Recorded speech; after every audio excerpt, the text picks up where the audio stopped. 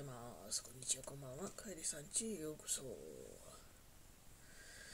えー、もうね、2月、この動画がアップされるのはもう2月になると思っておりますが、今くらいの時期から、あのダイエットをしている方っていらっしゃるのかしら？あのまあよくね、私にも見させていただいている方、同世代の方なんですけど、ちょっと、ね、体重も増えてきたっていうことで、えっと、糖質制限のダイエットをしていますって、今からやってますって。まあ、長い期間かけてね、まあ、何キロまで痩せるのかわかんないですけど、まあ、ダイエットやってますよって言ってますね。私もね、あの、ダイエットしようかなと思いながらも、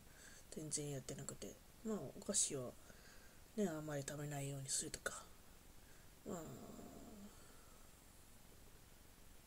家にずっといるのもどうかなと思って思いながらも、まあ、部屋にずっとこもってきたりするんですけど、まあ、その、塔の周りをぐるっと回るだけでも全然違うかなと思って、えー、なんだっけ、ドラクエウォーク。などなどでちょっとやってたりとか、まあそうは言ってもあの、近くのコンビニにいたりとかね、しようかなとは思ってるんですけど、うん、やっぱ長い目で見たときに、その短期間でね、1ヶ月で5キロ痩せるとか10キロ痩せるっていうのは、まあ1ヶ月じゃないか、まあ2、3ヶ月でね、そんくらい痩せるっていうのは、まあどうかなと思うし、まあ見た目だけでもね、せてるっていう感じにしないとダメだよねとか思いながらも、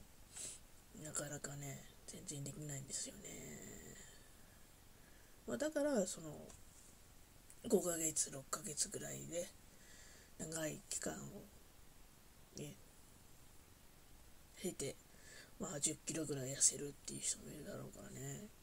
で、その中でも、なんか、その方はね、糖質制限3回目ぐらいだったんですけど、まあ、ある情報では、その方がね、見た情報では、あんまりね、その糖質制限に限らずだと思うんだけど、同じダイエットをこう3回、4回ぐらいずっとやってると、まああまりなんかよろしくないのかなと思うんですね。まあもちろん、あの、その方が言ってるのは、まあ多分糖質制限をずっとやってるのはダメですよって言ってたんですね。で、なんだっけ、その体の中の、ね、こう切り替え、えー、ダイエットに、ダイエット向きにするための、そのなんか切り替え時期っていうの、切り替えるなんか物質があるみたいで、えー、それを切り替えるのに、まあ1回、2回ぐらいだったらいいけど、3回、4回やると、その切り替え時期が少ない、切り替え時期が少ないというか、切り替えるのが遅くなるというか、鈍くなるというか、そういうのがあるので、あんまりその同じものを立て続けにやるのは、ダイエットするのはやめた方がいいですよっていうの感じなのかな。うん。で、私がなんかおすすめしたっていうのが、まあ、あんまりね、その、ウォーキングというか、ワンちゃんをこう飼っているんで、ワンちゃんのウォーキングとの散歩ぐらいしか、ね、外で、えー、遊ぶっていうか、まあ、行くことがないみたいなんで、運動らしい運動っていうのは、まあ、整体に行くぐらいとか、そういうのしかないんで、家でもできるね、そのラジオ体操とかさ、ストレッチとか、そういうのも取り入れてみたらどうですか？みたいな感じで。ね、あの、変にこう、外にいてさ、そのジムだったり、そのヨガ教室、まあ今の時期ちょっとね、出なかったりとかするんで、まあオンライン教室みたいなのでね、やってる方たちもいらっしゃるみたいなんで、まあそれをね、あの活用するのもいいんですけど、まあ、ラジオ体操で YouTube でもいろいろとねこうやっていたりとかするし、うんねまあ、そういうのがあるんでちょっとそういうのを試してみたらいかがですかっていうふうに、え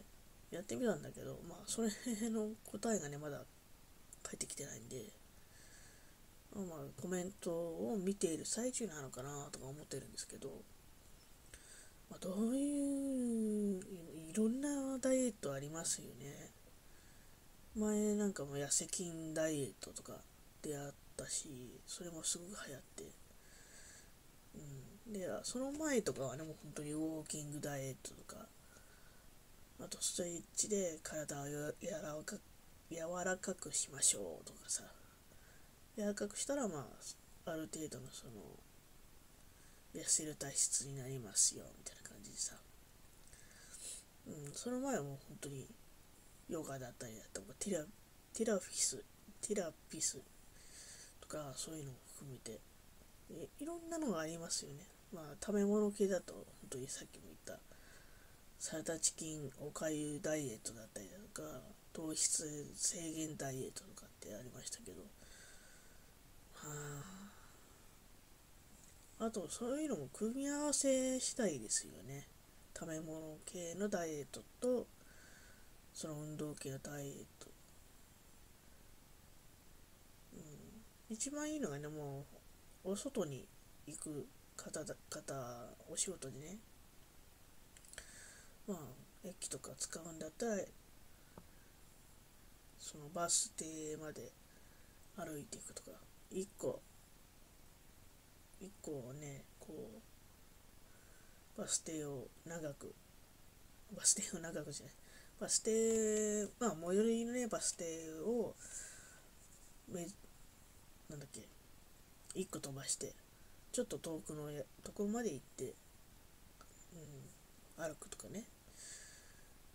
そういうのもあるみたいですけど、まあ、駅はね、ちょっと大変かもしれないね。一つ飛ばしっていうのは大変かもしれない。うん。駅と駅の距離がちょっと短かったりとかすると、まだそれはいいけど、結構長いね、その、駅と駅が長かったりすると大変だから、まあそれはもう大変なんで気をつけてほしいわけですけど、なんかね、話がそれちゃいましたけど、皆さんどう思いでしょうか？今からダイエットしていますでしょうか？私はね、もう本当に年がら年中やって、やるとか言いながらも全然やってませんね。まあねそ、どういうダイエットしているかどうかっていうのもお聞きしたいなと思っております。それでは皆さん、さようなら。